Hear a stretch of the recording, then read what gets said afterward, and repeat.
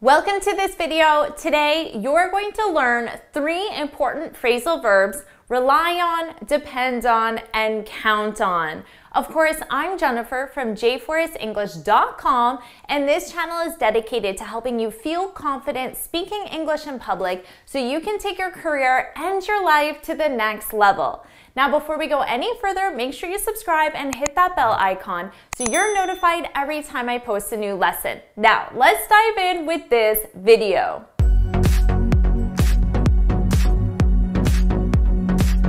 To rely on, to depend on, and to count on.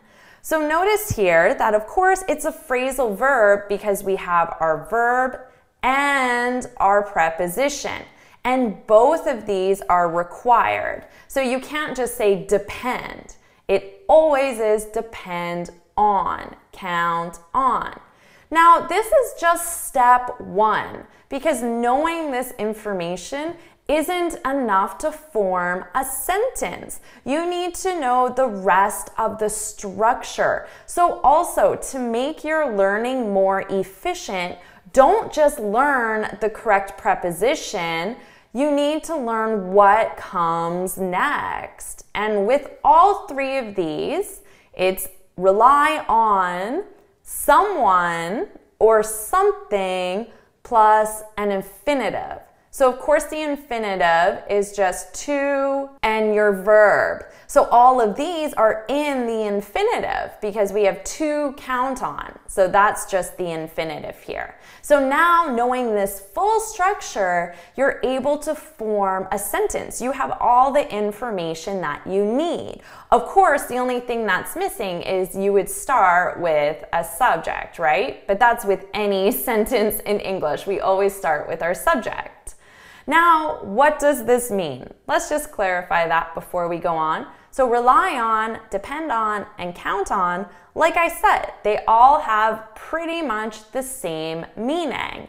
And that is to trust someone with a task or objective or to need someone to do something. So we'll look at both of these definitions using all three of the phrasal verbs in this lesson. Let's take an example sentence. My boss relies on him.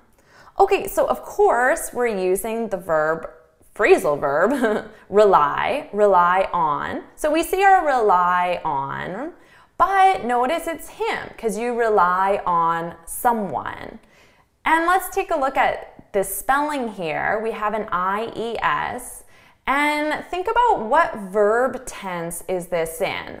Hmm. Do you know? It's, of course, the present simple. And it's an IES because my boss, the subject, is either a he or she. So she relies on him. So for our spelling, when we have a Y-E-S, it changes to an I-E-S.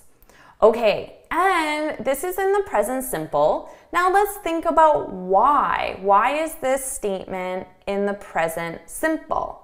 Hmm. Well, of course, we use the present simple for general facts, general statements, and routines. So you could think of this as in general, my boss relies on him.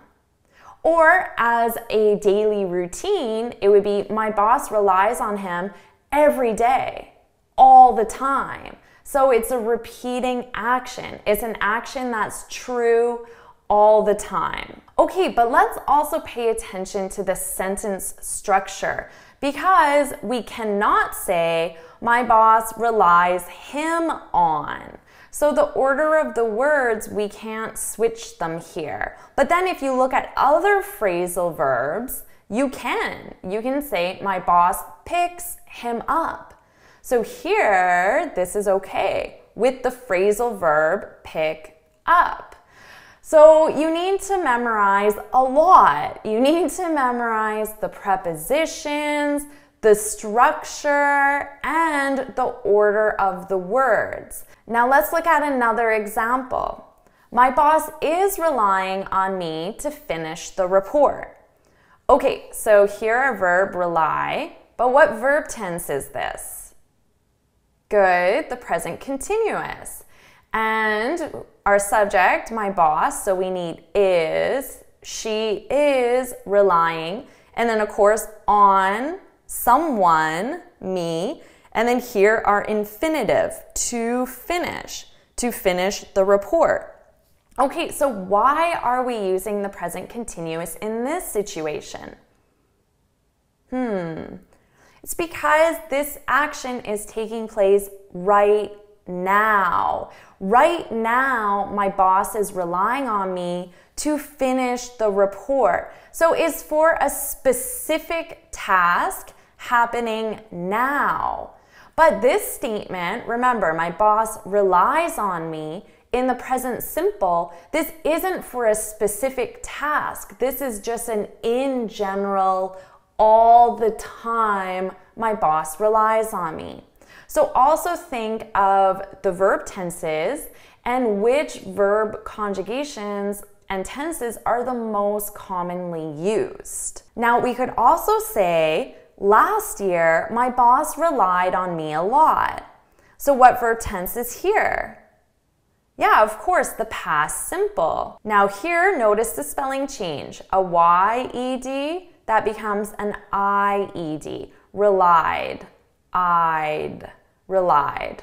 Okay, good. Relied on me. Good. And then our keyword to tell us this is in the past simple, last year. So this is for a specific moment in the past that's complete. So right now, my boss isn't relying on me, but last year, my boss relied on me a lot. And then, of course, something happened to change this situation. So many different verb tenses that we can use. Now, with all of these examples, we can use the phrasal verb depend on instead of rely on, and it would have the same meaning. Now, we can also use count on, but there's one subtle difference. And that subtle difference is when you count on someone or something, you have 100% confidence. For example, let's say your boss asks you, Are you sure you can meet the deadline? You can reply and say, You can count on me. You can count on me. This is a common expression in English. We use this a lot. Now, of course, you could also say, You can rely on me or you can depend on me. You can use that. But when your boss hears this, he's going to think 100%. Whereas, of course, rely is very high. I mean, maybe it's 98%. So I don't want you to think that there's a huge difference. So this is still probably 98%. But when an English speaker hears this, you can count on me, we take this as a very strong statement. So just be cautious when you use count on me, you have to really mean it. For example, you can say, I'm really counting on you. Now, if your boss says this to you, I'm really counting on you it tells you that your boss has 100% confidence in you. And that's a very strong statement. And you're going to feel a lot of responsibility because of that. As a reply, you can say, I know, and you can. You can count on me. And then you can add, I won't let you down. I won't let you down.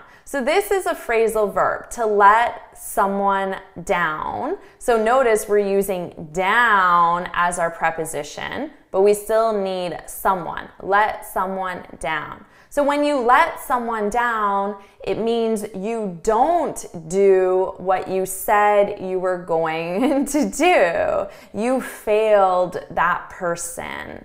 So you can say, I won't let you down. You can count on me. Let's say your coworker asks, Can you make sure everything runs smoothly while I'm on vacation? And as a reply, you can say, Absolutely, you can count on me. You can count on me. So I just want to stress that although these are synonymous, we use this one more as of an expression in English and a very strong statement, meaning 100%. Awesome job! Now, of course, it's your turn to practice. So I want you to leave three examples, one with rely on, depend on, and count on in the comments below. And if you found this video helpful, please hit the like button, share it with your friends, and of course, subscribe. Now, if you're a busy professional who's serious about taking your English and your career to the next level, then I want you to go to my website, jforrestenglish.com. There, you'll find a free case study where you can learn how to feel confident speaking English in public so you can impress your boss and clients with your message in only 30 days.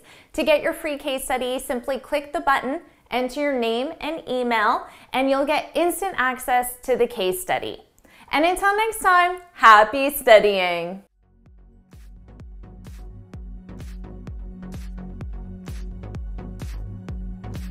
Awesome job learning these really great phrasal verbs. And of course, we all need someone in our life that we can rely on, depend on, and count on. I'll see you in my next video. Bye.